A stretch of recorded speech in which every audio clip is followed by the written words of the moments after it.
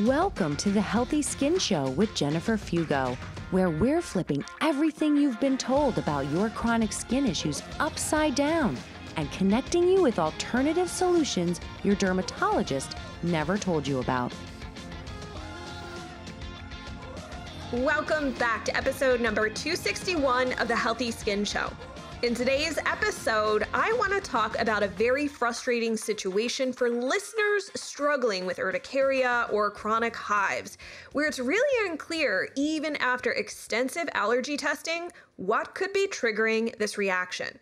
The term chronic hives includes situations where you get hives, which are more formally called wheals in literature, as well as angioedema or swelling under the skin.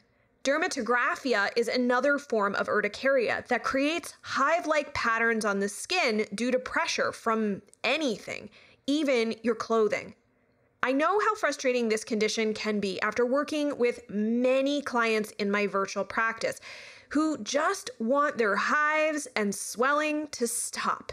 I'm reminded of a woman named Sonia who struggled with hives and dermatographia so badly that she couldn't even wear tight fitting yoga pants because the pressure alone would trigger an outbreak. As I'm sure you can relate, hives are not fun. And when the situation is severe, urticaria is extremely detrimental to your quality of life. If you feel stuck by this extremely maddening diagnosis, let's talk about what could be going on and why you can't seem to get the hives to stop. The first thing you need to know about urticaria, hives, dermatographia, and even angioedema is that from a functional perspective, they are indicative of histamine overload. Histamine overload is a situation where your body is no longer able to handle the immense amount of histamine present. So your system is essentially swimming in a gigantic pool of histamine that it cannot process fast enough due to a variety of factors. Sometimes there are genetic SNPs in histamine degrading enzymes, namely diamine oxidase, also known as DAO, and histamine N methyltransferase, also known as HMNT. But I should mention that this is not necessarily everyone's issue, especially if the onset is relatively new for you. Other factors have to do with environmental issues, Mold is one of them that can destabilize mast cells, as well as gut microbiome dysbiosis with the presence of certain organisms that make histamine. Yes, you heard that right. Certain gut bugs make histamine. So much, in fact, that your gut actually becomes a histamine production factory that you cannot escape. High histamine foods only make things worse DAO enzyme supplements might not be very helpful, and this is actually really common and why I don't often recommend them anymore.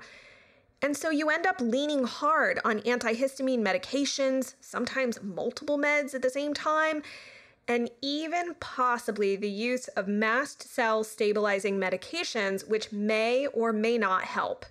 I feel I should mention that long term use of antihistamines has its own set of problems, including poor sleep, increased risk of dementia, depression, anxiety, and fatigue, decreased DAO production in the GI tract, as well as increased risk of acute liver injury. And you might even end up trying a biologic called Xolair, which may or may not help. My point here is that until you get to the bottom of what's creating this histamine overload situation, you will likely continue to struggle with urticaria. If this topic interests you further, I have a two part deep dive on the concept of histamine overload linked up in this episode's show notes.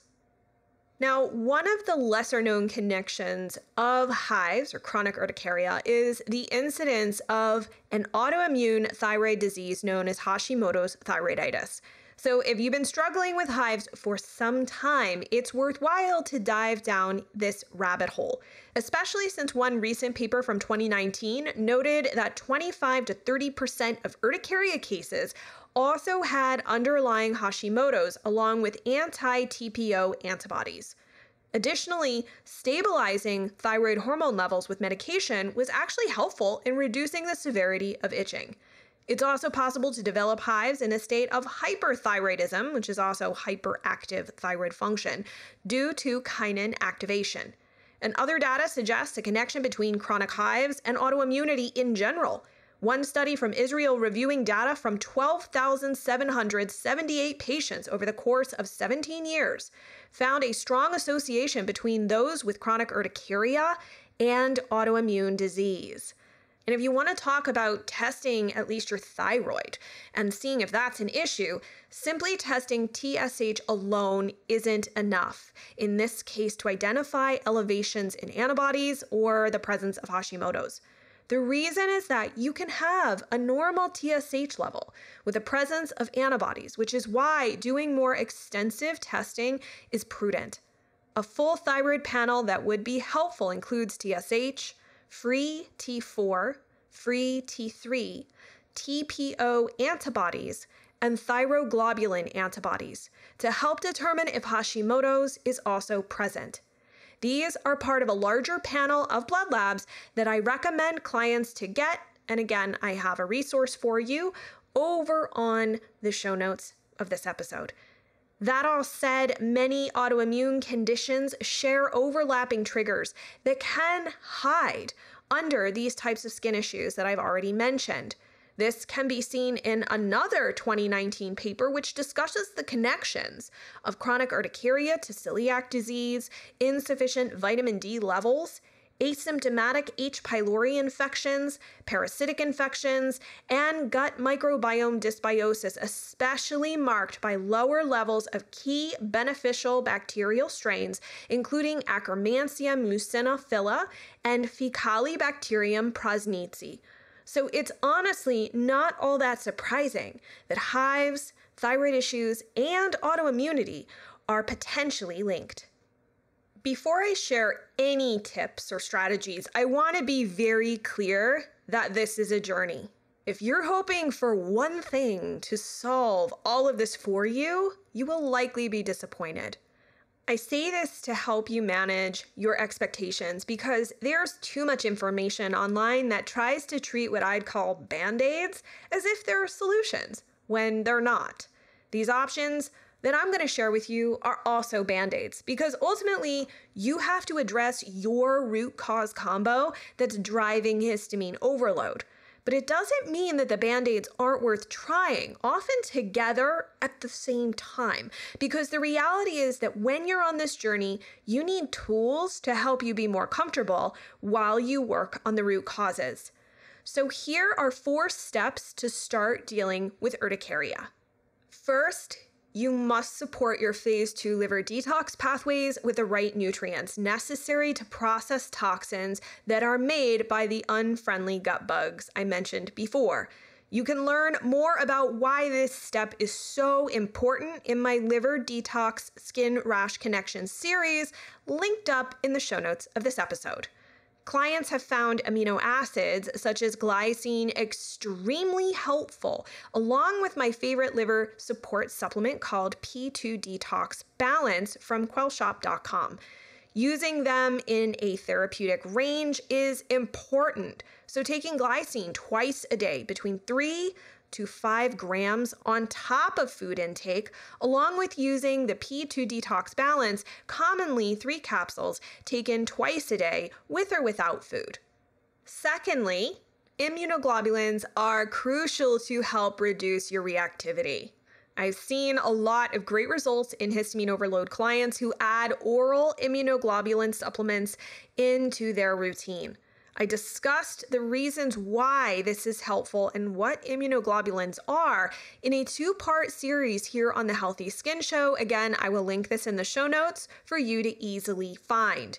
These supplements likely will be used at a higher dose than what's listed on the bottle and can be very helpful taken before bed if you start developing hives at night, since the immunoglobulins help to drive down the IgE response happening in the GI tract. My favorite immunoglobulin options called Mega IgG are available on quellshop.com in both capsules and powder. And actually, guys, the powder is really great and makes taking higher doses easier since it reduces the number of pills you have to swallow and you can mix it into pretty much anything. third, a low histamine diet can be helpful. And I say this as someone who really dislikes putting someone on an elimination diet. That said, a low histamine diet is a band aid and will not solve the underlying dysbiosis or histamine overload problem.